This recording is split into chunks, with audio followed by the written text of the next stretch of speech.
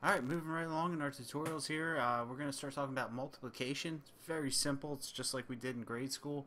Um, we indicate we want to perform multiplication with an asterisk, just like this little guy here.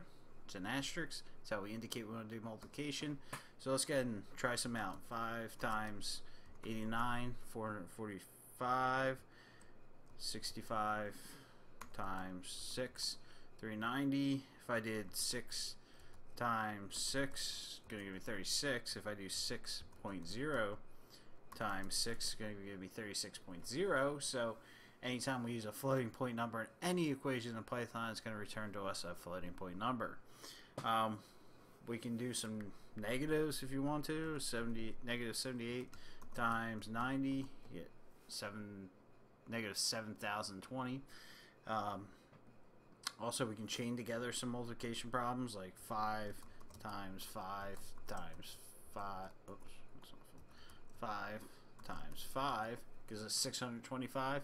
So multiplication is very easy in Python. If you have any questions, leave a comment on our forum at mastercode.online.